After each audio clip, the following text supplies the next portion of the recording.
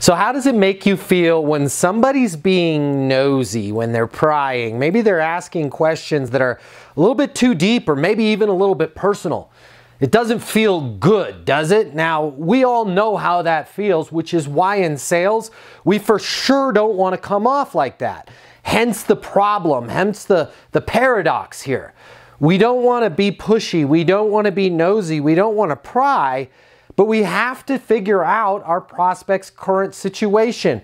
We got to figure out what's going on in their life and more importantly, the why and kind of the why behind the why. And the more whys you can go deep, the more you're going to understand and the more you're going to be able to put value in that gap of what's going on right now, your solution, What's the value in you solving that problem for them? So, how do you ask questions without prying, without being pushy?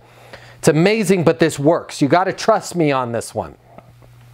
All I want you to do is I want you to add this softener, and it's weird. It's like a universal unlock key, okay? And there's different versions. I'll teach you a few different versions of this throughout your training, but my probably my favorite one is just out of curiosity, right?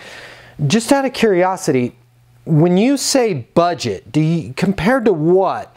Your system that you have right now, other systems that you're looking at or what you had expected to pay. Okay. Notice how when I put that softener in front, you know, just just out of curiosity, I suddenly become a professional that's thinking about solving the problem versus, hey, when you say budget, compared to what? What you're paying right now, other software that you're looking at, or, or what you were hoping to pay. Now I'm just kind of being forceful and manipulative. But if I just slow down, you know, just out of curiosity, like poof, something just hit me. Just out of curiosity, when you say budget, compared to your system right now, other solutions that you're looking at, or what you had expected to pay. Now I'm collaborative, now I'm taking an interest in you, and now it's a lot easier for you to give me the information I need you to give me because you don't think I'm being prying, you don't think I'm being a pest. The world of sales has completely changed. Today's customer has access to more information. Today's customer has more choices. The business world needs you. Studies have shown that 84% of salespeople fail to achieve their goals. The old sales training, well, it just doesn't work today. I'd like to teach you how to take the stress out of selling in a way that's meaningful to you and your customers and get you seven times more business. I'll show you how the perfect sales process works. I'm gonna walk you through everything from prospecting to closing the deal.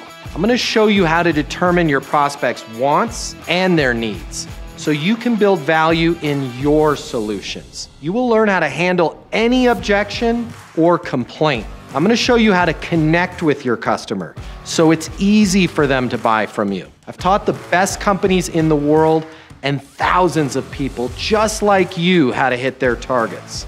Selling is complicated. I'll simplify it for you. There's more competition than ever before.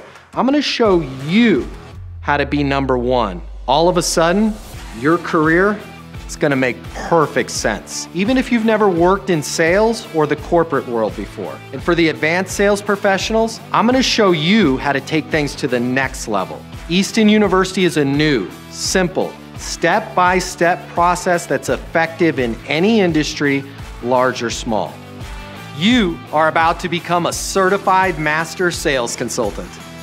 I'm Matt Easton, and this is Easton University.